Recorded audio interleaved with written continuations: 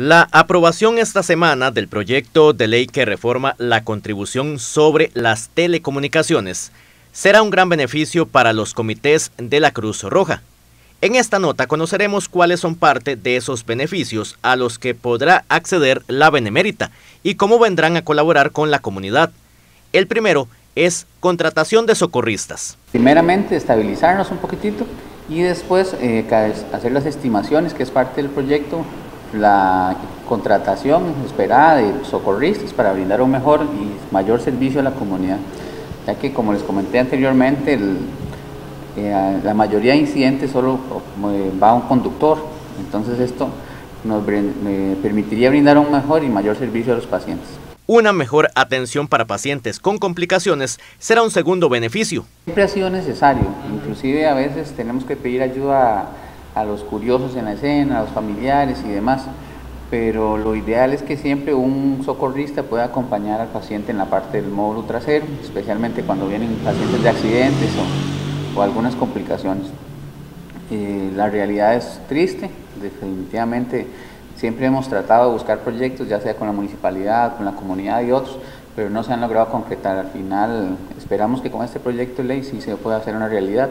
Aún así, como Comité Auxiliar acá en Pérez seguimos haciendo gestiones ante la municipalidad, ante la empresa privada. Y también recordemos en qué consiste el proyecto que fue aprobado esta semana en la Asamblea Legislativa.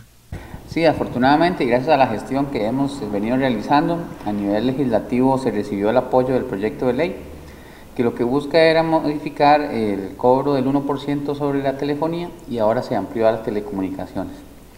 ¿Qué significa esto? Que antes eh, se daba un aporte del 1% sobre llamadas telefónicas, pero ahora se va a ampliar un poquito y esto nos va a ayudar a compensar un déficit que se venía dando principalmente por dos factores.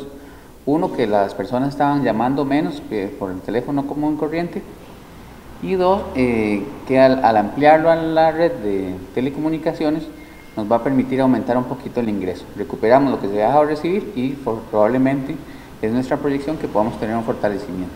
¿Y cuál es el estado en este momento del Comité de la Cruz Roja en el Valle del General?